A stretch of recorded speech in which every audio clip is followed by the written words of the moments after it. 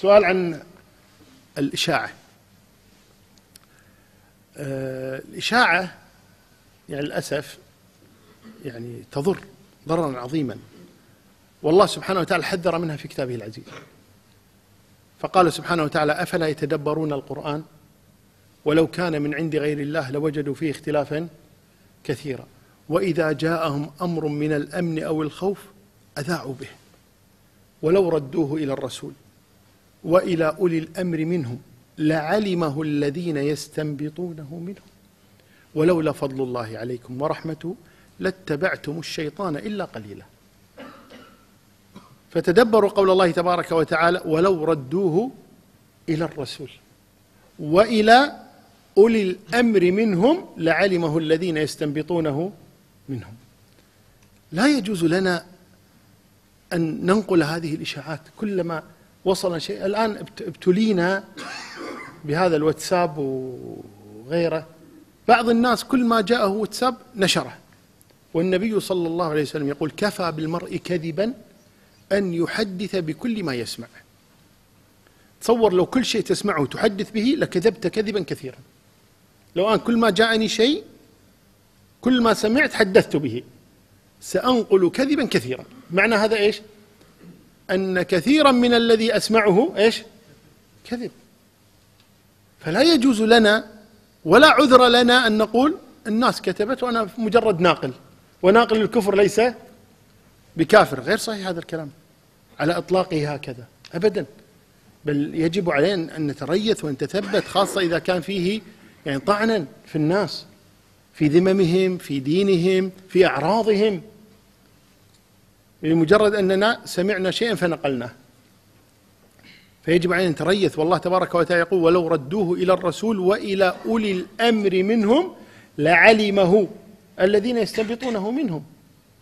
فأي شيء يصلك برسالة الواتساب أو غيرها أو كذا أو في الصحف أو في غيرها لا تنقلها. حتى تتثبت منها. واحد يقول الله كل هذول تثبت منهم؟ لا مو لازم كلها مو لازم تحدث فيها. اسكت. لكن إذا أردت أن تحدث بها تثبت. إذا ما كنت تريد أن تتحدث بها الحمد لله اتركها. أهملها. لكن تريد أن ترسلها إلى غيرك تثبت منها. فإن كانت حقا أرسلها إلى غيرك. وأنت قد تثبت منها. إن كانت غير حق فلا ترسلها. إذا كنت لا تستطيع أن تتثبت أو ليست لك النية أن تتثبت منها فدعها. ليس بالضرورة أن ترسلها. وأنا أحدثكم بقضية وقعت لي قبل يومين حقيقة. جاءني شخص أعرفه. وأعرف يعني خلقه ودينه. أحسبه كذاك والله حسيبه سبحانه وتعالى. فقال لي خرجت علي إشاعة أضرت به. وما قال كسرت ظهري لكن قال أضرت بي والبيع عندي نزل بسبب هذه الإشاعة. قلت له ما هي الإشاعة؟ قال اتهموني بأني بعثي. وإني أساند النظام في سوريا. وطلعوا إشاعة لا تشترون من فلان لأن بيع وكذا كله يذهب إلى النظام في سوريا. قلت له والله المستعان اصبر. والله يعينك. بعد ما خرج مني بساعة وساعتين ولا توصلني الرسالة. نحذر من هذه الشركات وهذا كلهم يساندون البعث في سوريا وأموالهم تذهب إلى سوريا. شوي ولا مطعم صاحبنا؟ حاطينه وأنا أعرفه رجل بالعكس رجل يبذل اموالا ضد يعني النظام السوري ورجل من أهل السنة كويتي يعني. من أهل السنة وحريص على السنة ومنفق في سبيل الله تبارك وتعالى. أعرفه جيدا. طيب وإذا وصلت الرسالة تقول يعني احذروا من هذا المطعم لأنه يعني يساند البعث و فما يجوز.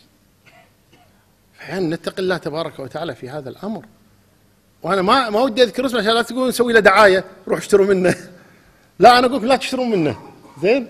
مو لا تشترون منه لأنه في شيء لكن قصدي لا أعمل له دعاية لكن حقيقة يعني ضاق خلقي. الناس قامت تنشر هذه الدعايات. أبو عمر شو تقول؟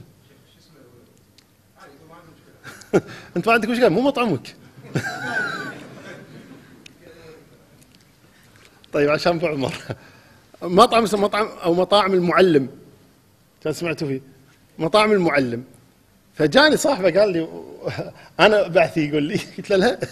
قال شوف يقولون عني كذا. بعدها بساعتين وصلتني الرسالة. فالمهم علينا نتقي الله تبارك وتعالى حقيقة في مثل هذه الأمور.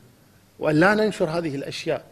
بل ولا نصدقها حتى نتثبت منها والله المستعان.